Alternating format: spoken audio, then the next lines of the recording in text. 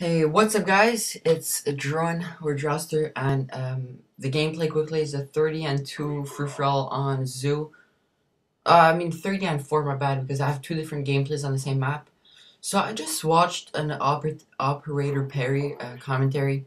That guy is really um, one of my favorite commentators. The way he, how he's neutral, he never like really gets involved in the community. And he is actually the one who brought me in this community. I remember two years ago in secondary five, uh, the school have the school gave us laptops. My last year of high school, uh, so each person had a laptop, and I was constantly going during my math class on Top Notch Multimedia, their channel. Just watch the top five plays. I was just speechless of all the clips. So that's, to be honest, the the thing that brought me into the whole YouTube uh, video thing. So I'm not here to talk about that, but his uh, commentary inspired me to talk about the difference between Black Ops and Modern Warfare 2. Because I know that he really hates Black Ops, even if he was really excited. And he said that he, he believes that the the game time of Infinity Ward games is longer than the Treyarch ones. Um, I really I didn't really think about that so far, so I'm not really going to talk about that. But I just wanted to talk to you guys about uh, why I prefer Black Ops over Modern Warfare 2. And I'm not here. Uh, I'm not. I'm not here to talk about all the bitching about Ghost, One Man Army, Commando. I'm really not here to talk about all the flaws of the both of both games. I'm really here to talk about the whole system. It's not a flaw. It's just personal preferences, and I know that a lot of people prefer Modern Warfare 2 for that. So the reason why I prefer Black Ops than Modern Warfare 2 is the damage of the weapons aka stopping power, no stopping power. It seems that it is so hard to do well in Modern Warfare 2 um, because of the stopping power. It seems that it's so hard to get an 11 kill streak compared to Black Ops. Uh, you might have heard at the beginning of Black Ops that many commentators were saying that all the, the all the players with higher gun skill will do very very well in Black Ops. I, I think that's true. If you check all the the big names like Sandy Ravage with like a I don't know 4 KD with like a 4 win loss.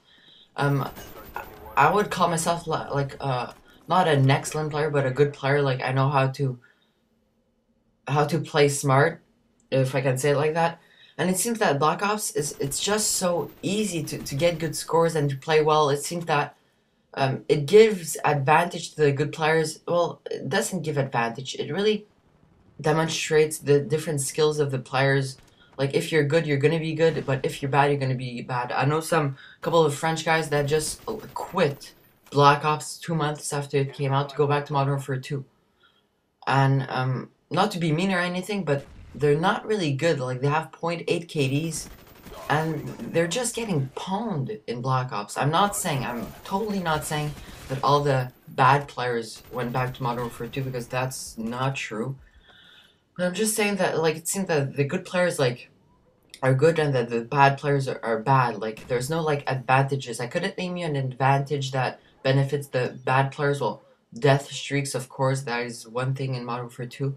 But it's really the, the, the time that you die, the, the, the amount of time that it takes for a player to kill you. It seems that with stopping power, like, as soon as guy starts shooting you, he's gonna kill you right now. And I really don't appreciate that. That's why I cannot stand Modern Warfare 2.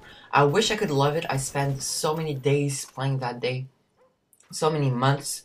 Um, I wish I could go back and have as much fun, but with Black Ops I discovered that like I prefer when uh, when there's no stopping power and of course there's no stopping power in Modern Warfare 3, but it's it's the damage of the weapons. Like it seems that when the uh, weapons have more recoil, have less high damage. It seems that like the, the skill comes out more of the players, and, you can truly see who's good and who's bad. As I said, as I mentioned, like it's really really hard for me to get. It's not really hard, but it, it's really frustrating to me to get like an 11 kill streak or even a Harrier in Modern Warfare 2 because it seems that as soon as another player sees you, uh, they shoot you down. Like they kill you instantly. Like in Black Ops, when you get shot, you, you know well when you know that you're getting shot you just go to cover, you recover, and then you can shoot the guy. But it seems that in Modern Warfare 2, as I said, as soon as guy sees you, boom, you're dead. And that's the thing that I dislike the most about Modern Warfare 2. Um, forget the one-man army, forget the commando, forget all the other things that are not really um, not overpowered, but aren't really good about the game. That that's what pisses me off the most. It seems that like I cannot like express my my true uh, player skill in that game. So that's pretty much it of Modern Warfare 2. I want I really want to hear your opinion, guys. Um, I'm really curious of knowing what you guys think. And I know that a lot of players went back to Modern Warfare 2 to play Search and Destroy. That that's a bit different, but still.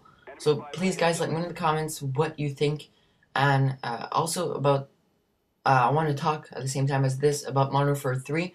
I hope that uh, I heard that a lot of people think that Modern Warfare 3 is like Modern Warfare 2, like it feels like Modern Warfare 2. But one thing that I really hope is that the gun damage is not as high if it is had if the, if the weapons had stopping power. So that it has like a fair balance between the Black Ops gun damage and the Modern Warfare 2's gun damage with stopping power. Because of course everybody in Modern Warfare 2 runs stopping power. So I hope it has a fair balance. And if it has a fair balance, and if the good players are going to be good and the bad players are going to be bad, um, I think it's going to be a great game. And of course, I don't think it's going to show as much the the gun skill as in Black Ops. And that's the reason why I think a lot of people are going to prefer Modern Warfare 2. Like the bad players, I, I think are going to stay more. Uh, like those with like uh, lower KDs and lower stats and lower gun skill, I think they're going to prefer the game because they're going to find things that will help them get better, like death streaks or etc.